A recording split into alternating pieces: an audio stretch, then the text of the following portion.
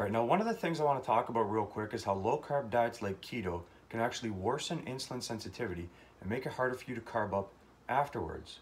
Now I know this goes against the narrative that low carb diets like keto actually improve insulin sensitivity, but you have to understand why that happens. It's not the diet that improves insulin sensitivity, it's that the person doing the diet has lost fat. If you lose fat, doesn't matter what diet you're doing, you're going to improve your insulin sensitivity. If you're not fat to begin with though, going on a low carb diet like keto can actually cause issues with insulin sensitivity, so I figured I'd talk about that real quick.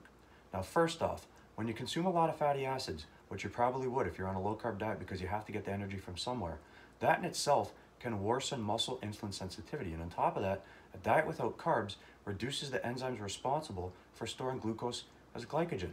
So what happens is you end up putting yourself into a deprived state to which your body adapts by preventing glucose uptake by the muscles to reduce the risk of hypoglycemia, which causes peripheral insulin resistance.